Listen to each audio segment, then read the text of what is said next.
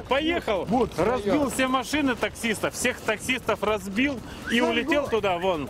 У остановки «Заводская» на перекрестке улиц Суворова и Краснореченская из-за ошибки нетрезвого водителя оказались повреждены шесть иномарок. Два человека получили травмы. Предполагаемый виновник, который управлял БМВ, получил ушиб грудной клетки, а человек, сидевший на пассажирском сидении в припаркованной «Тойоте Спринтер», травмировал голову. Четыре из шести разбитых машин в момент ДТП находились в парковочном кармане у остановки. Водители, подрабатывающие частным извозом, сидели в автомобилях, но не следили за дорожной обстановкой, потому что ехать пока никуда не собирались. Да мы ничего не поняли, мы просто... Говорят вот это по рассказам, вот она вот... Что-то где-то они на перекрестке Колдину зацепила, и Колдина вот по кругу все собрала. Тойота Калдина, первой получившая удар, двигалась по Краснореченской со стороны центра города. Перекресток с Суворова автолюбитель намеревался проехать в прямом направлении. По первому ряду ехал с центра в сторону Южного, в сторону Красной. Ехал где-то 60 км в час, потом какой-то сильный удар, то ли в бок, то ли сзади, так и не понял откуда. Ну и начал трясти машину, ну и вот я оказался здесь.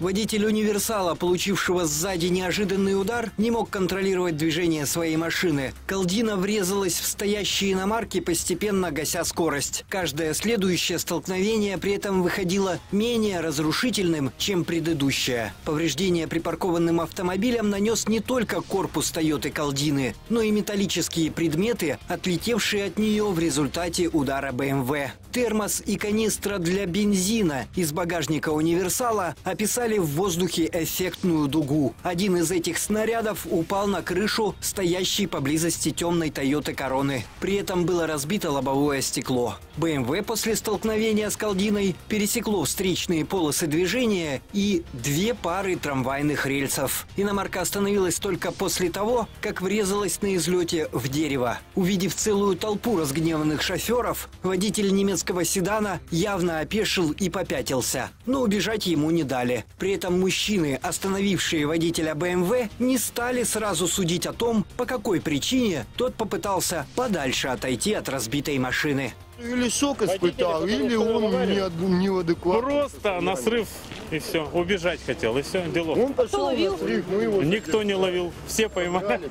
Автоинспекторы проверили нарушителя на алкогольное опьянение и установили, что он сел за руль пьяным. БМВ ему не принадлежит. Водитель сказал полицейским, что взял ее у друга покататься.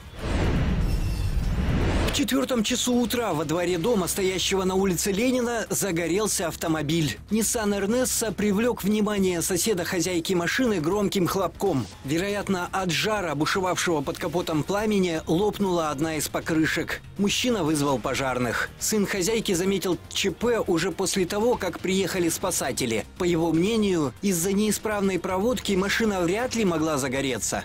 Да я даже не знаю, аккумулятор был отключен. Тем более севший. Не знаю, даже не представляю. Не пользовались машиной? Стояла, ждала, как бы, дальнейшего ремонта еще немного. Автомобиль был поврежден в ДТП, которое случилось еще до того, как в Хабаровске выпал снег. Долгое время иномарка стояла во дворе. Сыновья хозяйки пытались отремонтировать машину своими силами. Претензий от соседей по поводу парковки они не слышали. Часть ремонтных работ молодые люди сделали до пожара, но до полного восстановления было еще далеко. О том, что делать с машиной после ночного ЧП, семья еще не решила.